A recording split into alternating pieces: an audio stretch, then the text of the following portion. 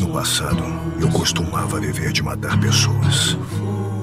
Mas um dia, um dia, eu passei a ter nojo disso. Era matar ou ser morto. Você quer uma espada? Thorfinn. Ela serve para matar pessoas. Quem é que você vai matar? Usando essa espada, meu filho. Foi por isso que eu fugi dos campos de batalha.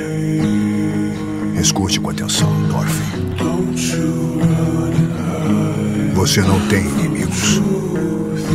Ninguém tem. Nenhum inimigo. Não existe ninguém no mundo que mereça ser machucado.